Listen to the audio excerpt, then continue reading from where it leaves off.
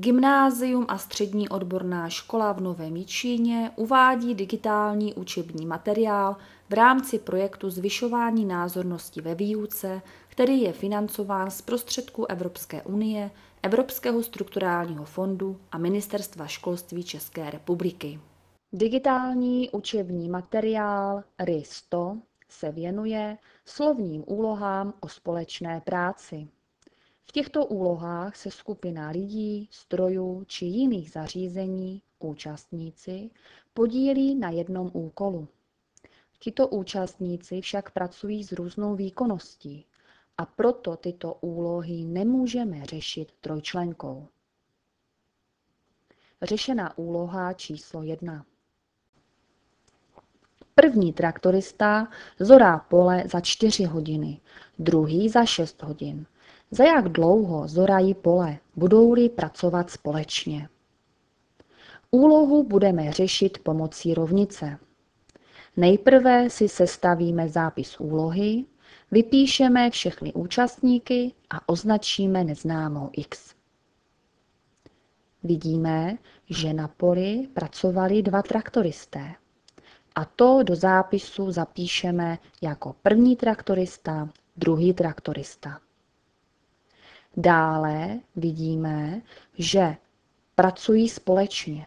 A tuto skutečnost si můžeme do zápisu zapsat jako dohromady.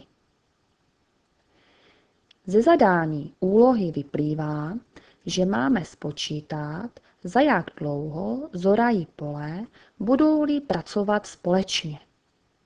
Proto si jako neznámo x označíme počet hodin, po který oba traktoristé pracovali dohromady a zorali celé pole. To znamená, vykonali celou práci. Tedy zapíšeme celá práce vykonaná za x hodin. Z podmínek úlohy pak vypíšeme výkonnost prvního traktoristy vidíme, že první traktorista sám zorá pole za 4 hodiny a výkonnost druhého traktoristy, tedy druhý traktorista zorá pole za 6 hodin. A můžeme zapsat, celou práci vykoná první traktorista za 4 hodiny a druhý traktorista za 6 hodin můžeme si vyjádřit, jaký díl práce vykoná každý z traktoristů za jednu hodinu a také pokud by pracovali společně, tedy dohromady. Do zápisu úlohy to zapíšeme za jednu hodinu. První traktorista, když za čtyři hodiny zorá celé pole, tak za jednu hodinu zorá pouze čtvrtinu pole. Podobně druhý traktorista, pokud za 6 hodin zorá celé pole, pak za jednu hodinu zorá jednu šestinu pole. A dohromady pak oba traktoristé za jednu hodinu zorají jednu xtinu pole. Nás ale bude zajímat, kolik práce by vykonal každý sám za x hodin společné práce.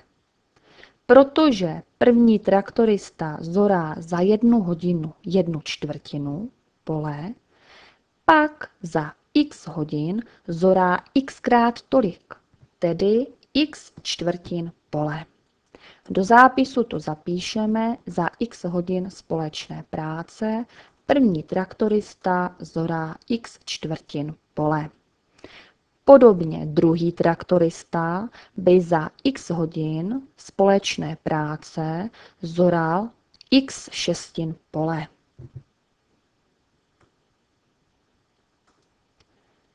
Oba společně by tedy za x hodin zorali x čtvrtin plus x šestin pole. Nebo také můžeme tento díl pole vyjádřit v zápise, že za x hodin společné práce by zorali xxtin neboli jedna celá. Tak dojdeme k rovnici x čtvrtin plus x šestin se rovná jedna celá.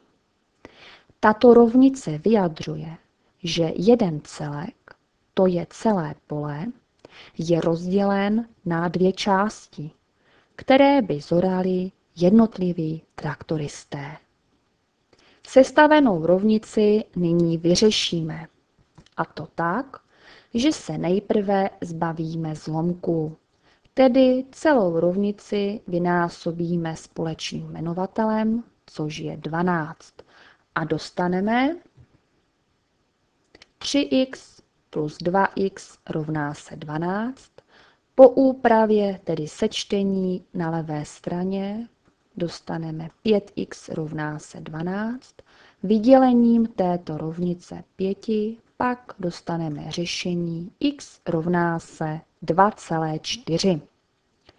Ze zápisu úlohy vyplývá, že jsme vypočítali dobu společné práce, tedy dobu, po jakou oba traktoristé pracovali dohromady. Tedy oba traktoristé pracovali 2,4 hodiny. Převedením na hodiny a minuty pak dostaneme 2 hodiny 24 minut. Nyní můžeme zapsat odpověď. Traktoristé společně zorají pole za 2 hodiny a 24 minut. Řešená úloha číslo 2. Dvěma čerpadly se nádrž naplní za 10 hodin. Jedním čerpadlem by se naplnila za 15 hodin. Za jak dlouho by se nádrž naplnila druhým čerpadlem? Opět sestavíme zápis úlohy. Do něj vypíšeme všechny účastníky a zapíšeme společnou práci jako dohromady. Tedy dostaneme zápis úlohy, první čerpadlo, druhé čerpadlo a dohromady. Ze zadání úlohy vyplývá, že máme vypočítat, za jak dlouho by se nádrž naplnila druhým čerpadlem. Proto si za neznámou x tentokrát zvolíme počet hodin, které by k naplnění nádrže potřebovalo druhé čerpadlo. Tedy jako celou práci si u druhého čerpadla označíme x hodin. První čerpadlo naplní nádrž za 15 hodin a oběma čerpadly se nádrž zaplní za 10 hodin. A to také zapíšeme do našeho zápisu. Nyní si vyjádříme, kolik nádrže naplní první čerpadlo za jednu hodinu protože za 15 hodin naplní celou nádrž, za jednu hodinu práce pak naplní pouze jednu patnáctinu nádrže. Druhé čerpadlo naplní za jednu hodinu pouze jednu xtinu nádrže, protože výkonnost druhého čerpadla je označená neznámou x. A dohromady obě čerpadla naplní za jednu hodinu jednu desetinu nádrže. Ze zápisu úlohy tedy vyplývá rovnice, kde na levé straně bude práce vykonaná oběma čerpadly za jednu hodinu, na pravé straně pak práce vykonaná oběma čerpadly dohromady za jednu hodinu. Můžeme tedy psát 1 patnáctina plus 1 xtina rovná se 1 desetina. Opět tuto rovnici vyřešíme a to tak, že se zbavíme jmenovatelů.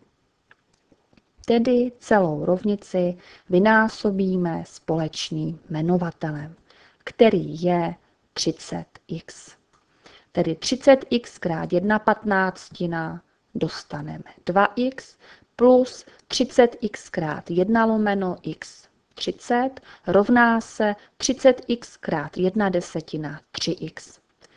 Převedením výrazu z pravé strany na levou a číselné hodnoty z levé strany na pravou, pak dostaneme rovnici minus x se rovná minus 30 a tedy řešení x rovná se 30. Vidíme, že jsme vypočítali výkonnost druhého čerpadla, tedy za jak dlouho by čerpadlo samo naplnilo celou nádrž. Druhé čerpadlo by naplnilo celou nádrž za 30 hodin. Ještě provedeme zkoušku. Za neznámou x dosadíme 30 a vypočítáme, kolik práce vykonají obě čerpadla za jednu hodinu. 1 patnáctina plus 1 třicetina rovná se převedením na společného jmenovatele, tedy 30, dopočítáme výraz a po krácení pak dostaneme jednu desetinu. Vidíme tedy, že jsme vypočítali stejnou výkonnost, která byla uvedena také v zápise. Závěrem pak napíšeme odpověď. Druhým čerpadlem by se nádrž naplnila za 30 hodin.